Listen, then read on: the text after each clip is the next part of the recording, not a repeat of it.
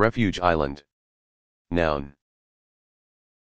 1. A raised platform or other protective barrier in the middle of a street crossing, allowing pedestrians to pause safely in the middle of the road.